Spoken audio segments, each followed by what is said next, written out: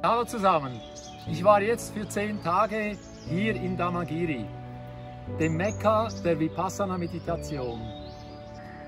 Einfach mal zehn Tage in die Stille gehen, zur Ruhe kommen, innehalten, nach innen schauen. Für mich war das einmal mehr eine wunderbare Erfahrung. Ich bin einer, der an die eigenen Kräfte glaubt und an die Kräfte der anderen.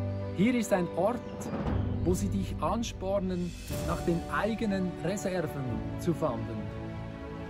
Dieses gewaltige Potenzial, dieses Reservoir an, an, an Fähigkeiten, an Möglichkeiten in dir zu finden.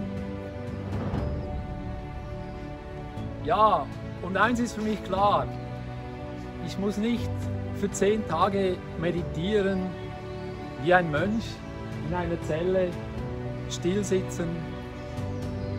Nur schon ein halber Tag in der Natur, in die Stille gehen oder ein paar Stunden wirkt wahre Wunder. In diesem Sinne, smile, relax and be happy.